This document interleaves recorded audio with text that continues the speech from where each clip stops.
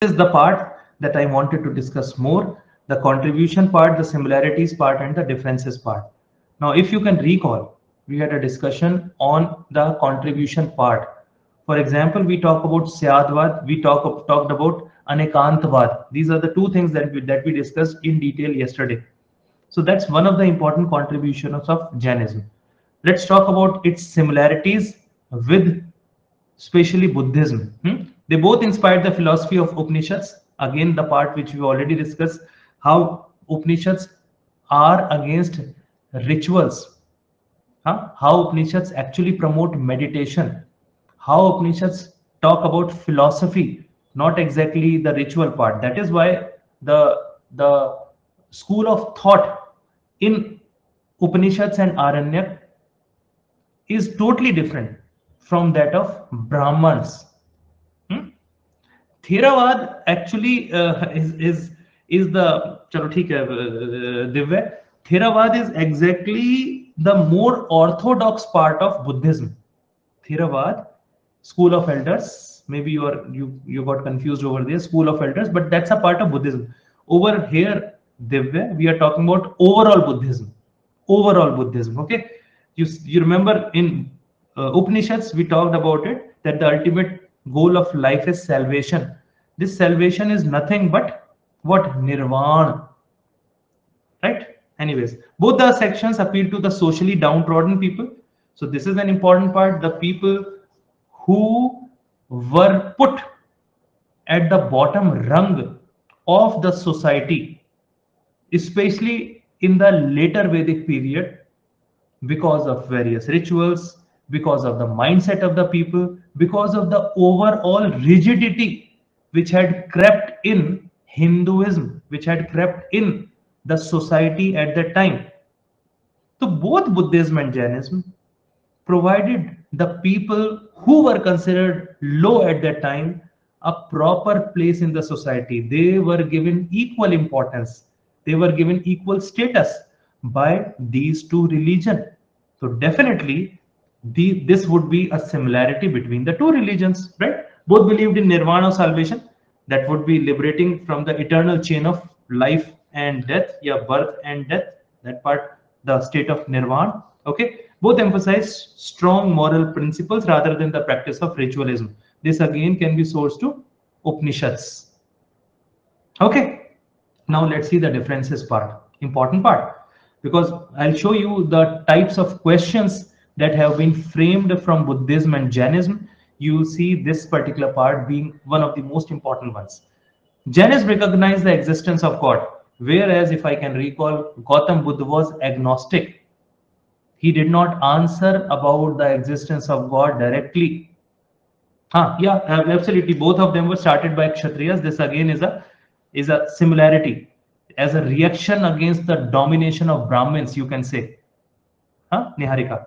Anyways, Jainism believes in transmigration of soul, whereas if I can recall Buddhism, Gautam Buddha said soul is a myth. He was more into practical issues, not exactly talking about what will happen when once when one dies.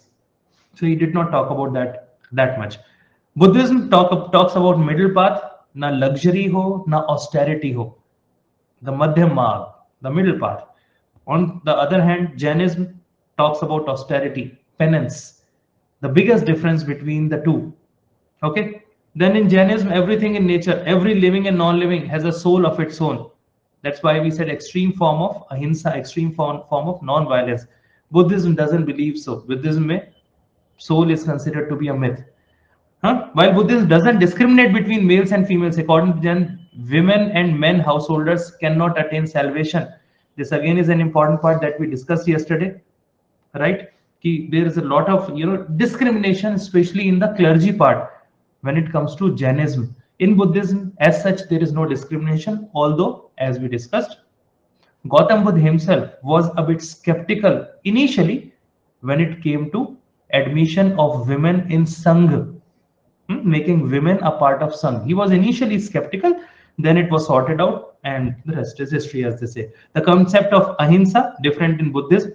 Now, this part actually seems to be there is some confusion. A lot of scholars believe. Now just go through this point first. The concept of ahimsa is different in Buddhism as it permitted the eating of animal flesh, where it is your necessity or traditional diet of the people. Guys, people believe that Gautam Buddha died when he ate. Now, this please focus over here. Gautam Buddha died. You remember he died at the age of 80. That means in 483 BCE. Hmm? So there is a thought process which says, yeah, at Pava, at Pava, Gautam Buddha, are you sure, man? uh, so there is a thought process in Buddhism that Gautam Buddha actually died when he ate meat, yeah, flesh, focus, focus, man, of pig which was served to him.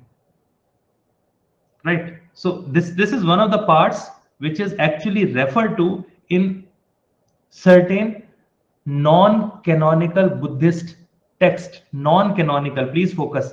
Not exactly canonical, non-canonical. That means the later editions. Yeah? Because that meat was stale, so he uh, fell ill and he died after that. That's that's one of the parts. But if you go through the canonical Buddhist texts, guys, this confusion seems to be cleared. It clearly says that the meal that was served to Buddha was actually the meal that is served to the animals. Now, if I can recall correctly, please don't forget, Gautam Buddha used to move from one place to the other, meeting all the sections of the society. Okay, he was very open to all the sections of the society, whether you consider them as low or high or whatever. In one such instance, as he was visiting a home of a person, he was actually served the food which at that time was to be served to a pig also yeah which is which is a common meal for a pig. This part is what we refer to as some sort of a mushroom so the reference over there in canonical buddhism is to a mushroom which is eaten by a pig but that mushroom is poisonous to humans or not fit for human consumption i hope you know this thing that out of so many mushrooms which are found in forests, very few are fit to be consumed by humans. Quite a lot of mushrooms are poisonous in nature. Okay, just check this out.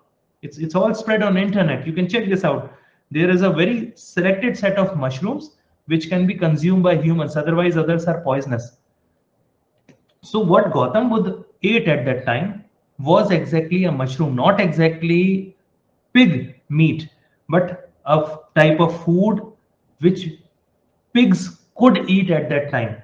So there's the difference between pig meal and meal of pig. Okay.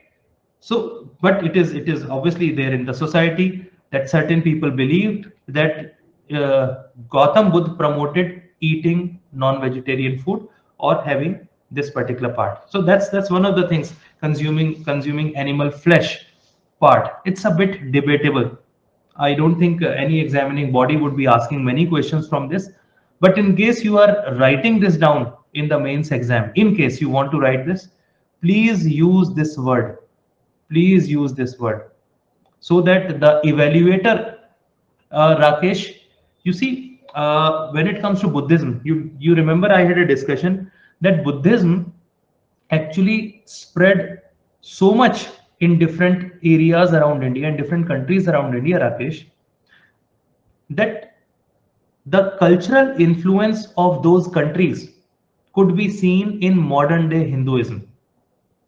I told you, you check out any country of Southeast Asia, major chunk of China, major chunk of Japan, they are followers of Buddhism. So they have their own way of taking Buddhism. Yeah, they have their own way of following Buddhism. So that particular part is what I am talking about over here. Right? Yeah, yeah, yeah. They actually consume pork thinking that Gautam Buddha used to consume it at his time. So that is what I just discussed with everyone. Okay, guys, all clear on this particular part? Okay. So what's remaining in this? Check out the mains questions. Let's just check out.